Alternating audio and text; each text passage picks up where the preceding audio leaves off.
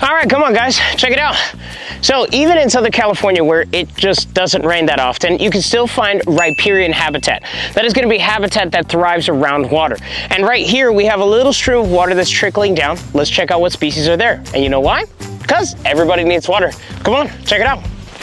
So a variety of species are gonna be found here. Anywhere from like snakes, wasps, millipedes, centipedes, you name it. Water is super essential for everybody.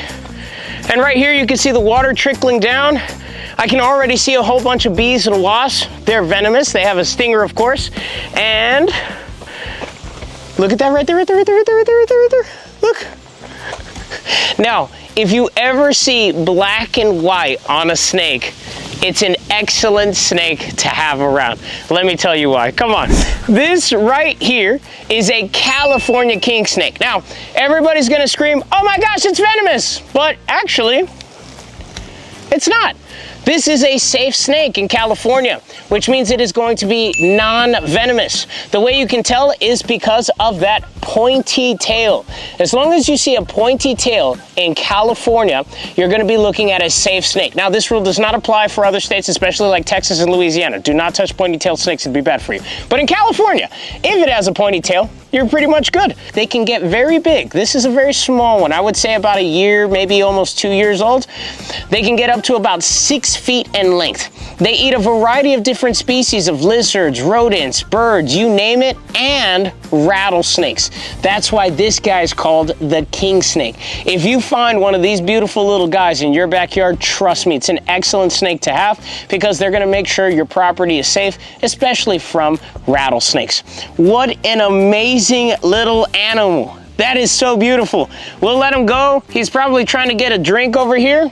So let me just set him down and let's check out some of our other animals. These guys are venomous and they are buzzing around pretty busy. Here you go, little buddy. So here we have buzzing around really quickly are a bunch of bees. I don't know if these are European bees or what exactly that they are. I know we do have native species of bees, but bees are going to be venomous, including wasps. They have a stinger that they use in order to stab and inject venom into something that they want to defend themselves from.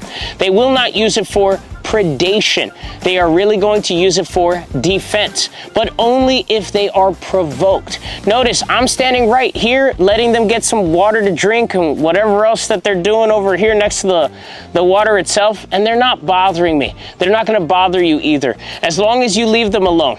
Now, should you be scared of bees and wasps because they're venomous? No, not really. They're not actually out to get you. They wanna be left alone.